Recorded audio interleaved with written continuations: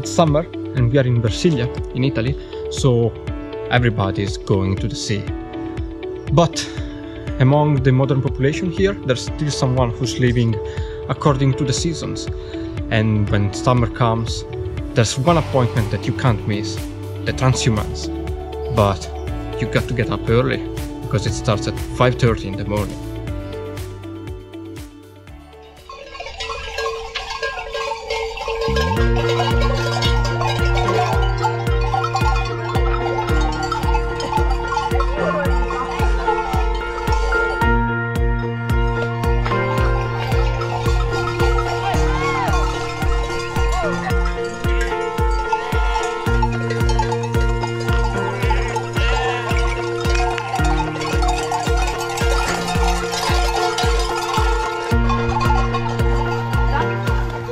If you'll bear with us, we'll walk you 22 kilometers with an altitude gain of 1000 meters along Tuscany roads and trails.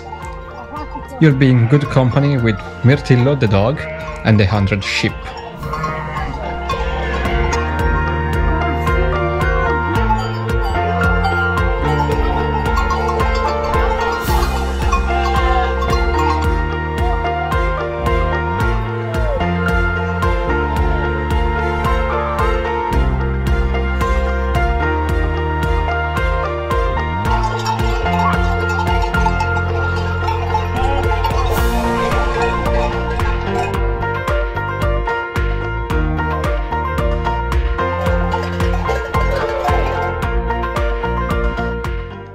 Have you ever tried to keep sheep in one lane on the road?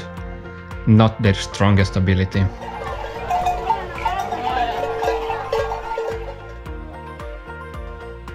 All they care about seems to be food, stopping at every step just to eat the grass on the road. Sometimes not even the dog can't really help. Look at him, running around trying to convince sheep to walk while they just want to stop and eat. This happened all the way. Would you care to guess how many kilometers did Mirtillo walk?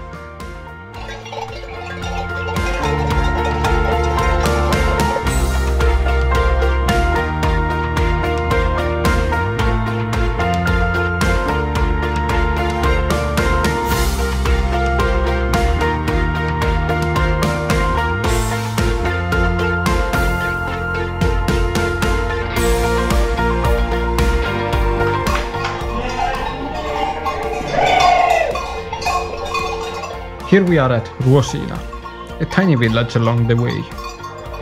This little village counts less than a hundred inhabitants, living in homes that were mainly built before the 1900s. Peaceful and quiet, I wonder how many people woke up when we passed by. Some waved hello from the window. Ettore seemed entertained and quite confused too. Ettore, guarda.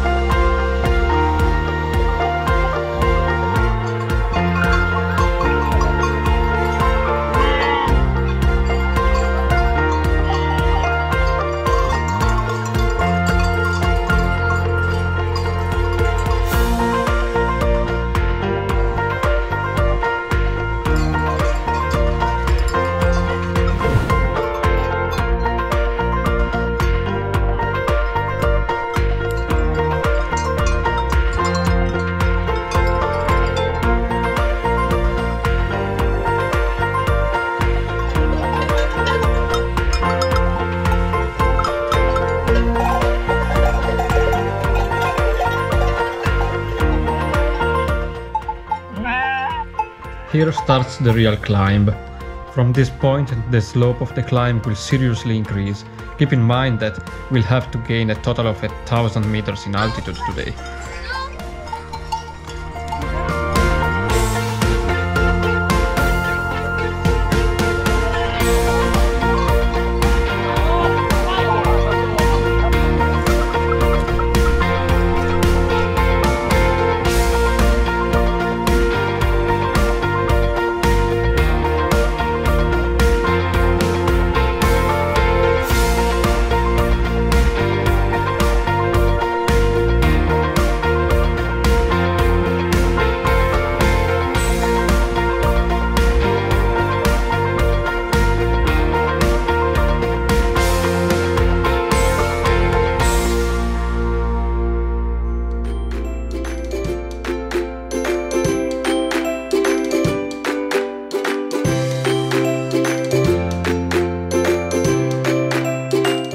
This is Terrinca, a village in Versilia that lies just above 500 meters of elevation. We still have another 500 to reach our destination where the ship will finally rest. The village cheered our arrival and we stopped here for a while. We ate breakfast, the ship rested a little bit, and someone decided to take a little dip